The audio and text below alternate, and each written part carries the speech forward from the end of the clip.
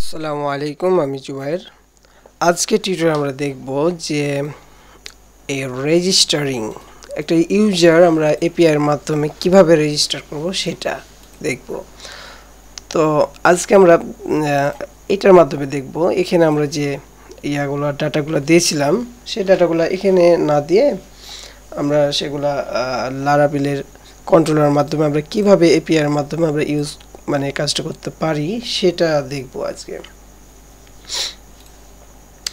তো এটার জন্য আমরা যেটা করতে হবে আমাদের, এখানে আমরা দেখেন যে এখানে আমরা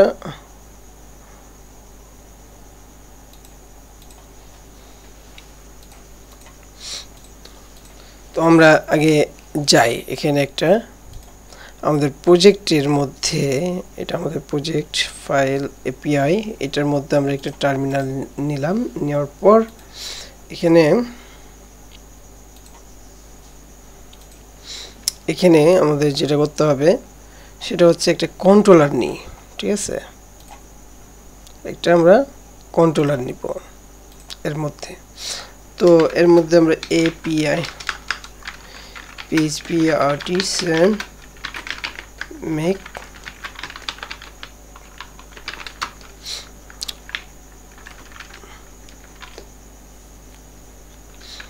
API API controller. এই নামে দিলাম। তাহলে দেখব যে এই যে দেখেন একটা ফাইল চলে আসছে। এবং এখানে কি হয়েছে? এপিআই কন্ট্রোলার নামে একটা কন্ট্রোলার তৈরি হয়ে গেছে, ঠিক আছে? তো এখানে আমাদের রেজিস্টার এবং লগ ইনের কাজগুলো করব লারাবিলের হুম? তো এখানে করতে গেলে কি করতে হবে? ফাংশন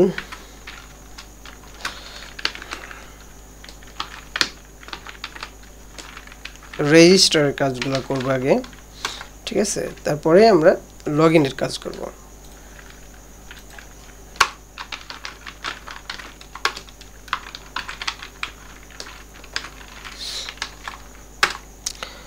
তারপরে আমরা লগ ইনের কাজ করব। তো আমরা রেজিস্টারের কাজগুলো করা শুরু করে দিই। তো লগ রেজিস্টার শুরু করার জন্য আমাদের এটা আসবে হচ্ছে পোস্ট রিকোয়েস্ট তো আমাদের এপিআই যেটা ইয়ে আছে রাউট এই যে রাউটার যাওয়ার পর এপিআই ঠিক আছে? এখানে যাওয়ার পর আমাদের একটা রাউট নিতে হবে। রাউট এটা পোস্ট হবে। এবং দুইটা প্যারামিটার, এগুলো তো আমরা জানি। তো এখানে হবে আমাদের ইটা। আমি এটা রেজ রেজিস্টার রেজিস, রেজিস্টারই দিলাম, হুম। তার এই কন্ট্রোলারের লিঙ্কটা হচ্ছে এফ বড় হাতের এফ এবং এই স্ল্যাশটা দিতে হবে। এবং এখানে যে কন্ট্রোলের নামটা আছে, সেটা আমরা এখান থেকে কপি করে এখানে দিয়ে দিলাম, যেন ভুল না হয়।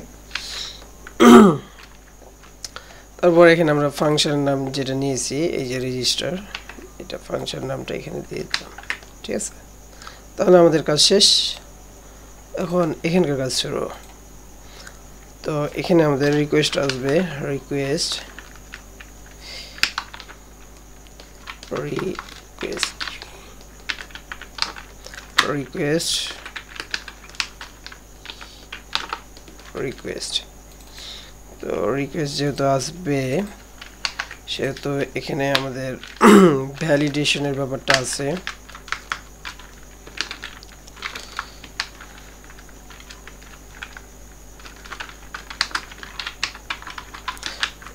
ভ্যালিডেট এর মধ্যে আমাদের ভ্যালিডেটের ব্যাপারগুলো আসবে। এখানে ইমেল।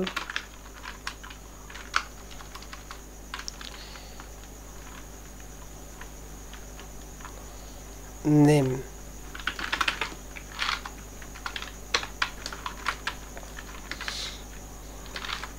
নেম এখানে দিতে হবে।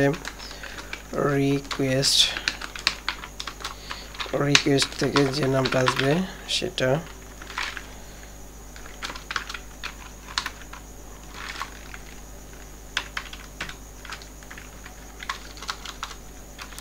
তারপরে name email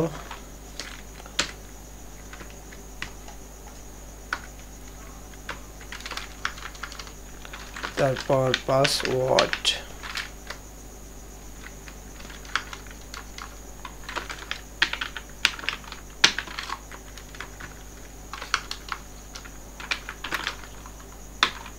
email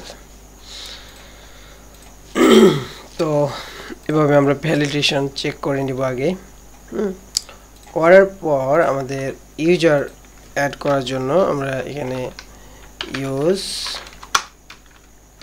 app slash হচ্ছে ইউজার আমাদের ইউজার মডেলটা হচ্ছে এটা এই মডেলটা আমরা নিলাম। তো এই মডেলের আমরা, এগুলো তো বুঝতে পারছেন আপনারা। এই মডেলের একটা আমরা ই করি। অবজেক্ট তৈরি করি। User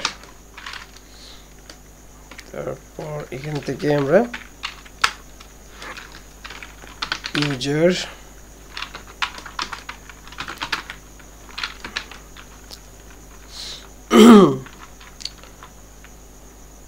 sorry sorry sorry sorry এটা তো রিকোয়ার হবে, ঠিক আছে?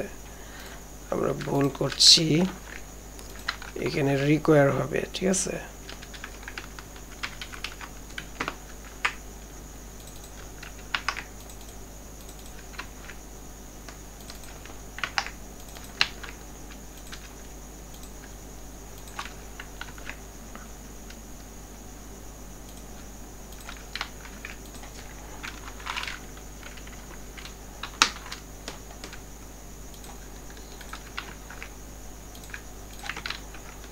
আমরা ভুল জায়গাতে লিখে ফেলেছি।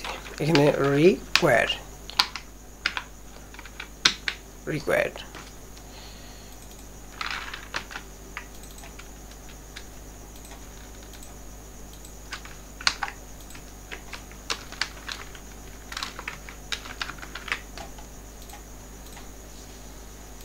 রিকোয়ার করার পর আমাদের শেষে কি করতে হবে? ইউজারটাকে সেভ করে দিতে হবে। তো ইউজারটা কি হয়ে যাবে? সেভ হয়ে যাবে।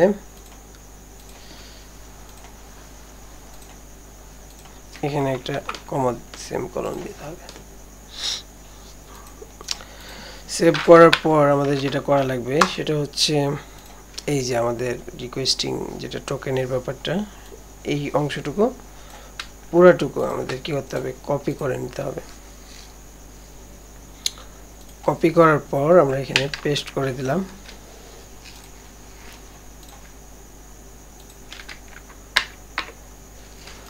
পেস্ট করলাম। পেস্ট করার পর সেটা হচ্ছে এইটুকুকে আমরা এই যে নেম স্পেসটা দেখাচ্ছে, আমরা এটুকুকে সরি এই নেম স্পেস এইটুকুকে আমরা যদি উপরে ইউজ করে নিই,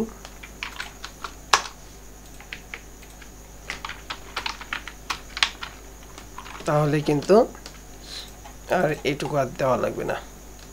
ঠিক আছে?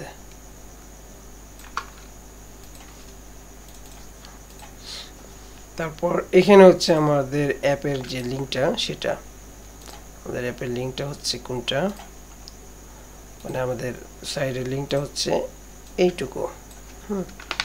মেন লিঙ্ক যেটা, সেটুকু এইটুকু দিয়ে দিলেন।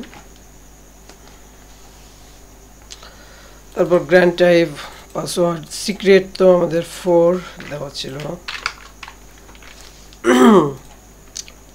নাকি ক্লায়েন্ট আইডি ফোর এবং এখানে সিক্রেট সিক্রেট সিক্রেট না সিক্রেট সিক্রেট ক্লায়েন্ট সিক্রেট হচ্ছে এটা। এটা দিয়ে দিলাম।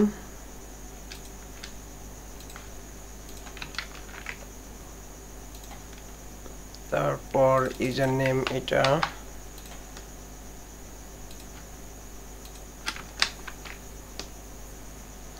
ও ইউজার নেম কিন্তু এখান থেকে আসবে না। ইউজার নেম হবে রিকোয়েস্টের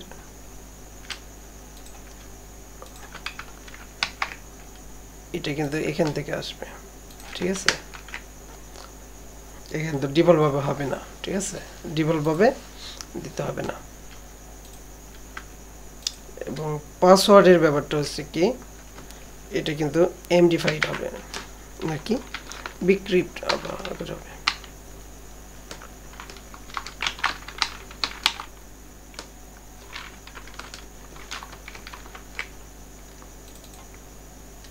আর এখানে পাসওয়ার্ডটা আসবে যেটা, সেটা হচ্ছে এমনিতেই আসবে পাসওয়ার্ড ঠিক আছে? যেরকম এখানে আপনার যে পাসওয়ার্ডটা নর্মাল পাসওয়ার্ড দিচ্ছেন না, সেরকম এখানে তো রিকোয়েস্ট থেকে নর্মাল পাসওয়ার্ডটাই আসবে। নর্মাল ইমেলটাই আসবে। ঠিক আছে? আর এইটুকুকে আমরা একটু কাজ করে দিতে পারি। এখানে রেসপন্স আপাতত যেটা আছে সেটাই থাকুক, সমস্যা নাই। এখন ইউজারটা ক্রিয়েট করবে তাই বলছে হ্যাঁ? তো এখানে আমাদের যেটা করতে পারি সেটা হচ্ছে ফার্স্ট অর নিউ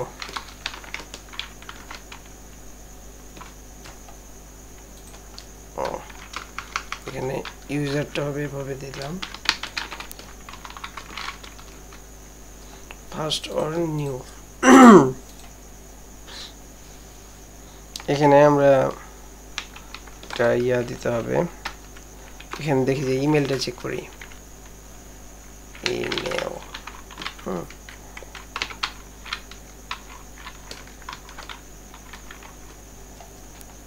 এখান থেকে আমরা এই ইমেলটা চেক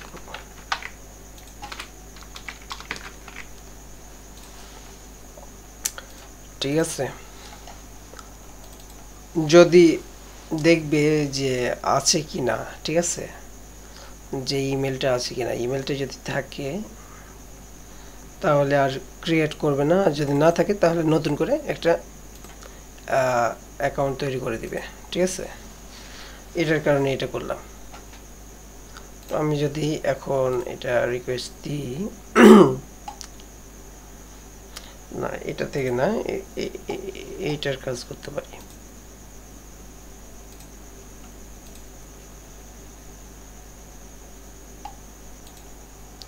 এখানে হবে পোস্ট রিকোয়েস্ট এই যে এটুকু আছে কিনা?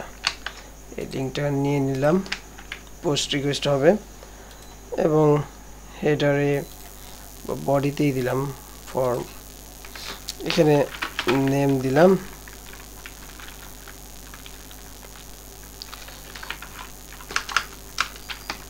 আলিম দিলাম।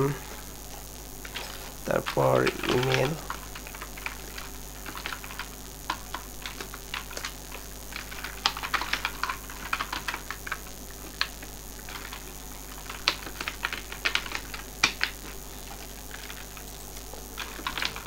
আলিম দিলাম। ঠিক আছে? আমি যদি সেন্ড রিকোয়েস্ট করি, তাহলে এখানে আমাদের কিছু ভুল দেখাচ্ছে। ও, এখানে রেজিস্টার হবে, আমি ভুল করছি। এখানে রেজিস্টার হবে। এই যে। হয়ে গেছে, আমাদের রেজিস্টার যখনই হয়ে গেছে মানে যখন দেখবে যে নতুন একটা ইউজার অ্যাড হওয়ার কথা আমাদের, এখানে ইউজারে যাই সরি ইউজারে যাই, এই যে আলিম নামে একটা ইউজার অ্যাড হয়ে গেছে, ঠিক আছে? তো আপনারা একটা জিনিস খেয়াল করবেন যে কপি আর পেস্ট করার সময় একটু গুরুত্ব সহকারে পেস্ট করবেন, ঠিক আছে? মানে এখানে কপি করে আমি পেস্ট করেছি তো, তার কারণে আমি ভুল করছিলাম। ঠিক আছে? দেখেন এখানে অ্যাক্সেস টোকেন প্রীতি করবেন, তাহলে এটা সুন্দরভাবে দেখাবে। এবং রিফ্রেশ টোকেন দুটা দিয়ে দিয়েছে। ঠিক আছে? তো আমি যদি আবার ক্লিক করি, তাহলে কি আবার ইয়া হবে?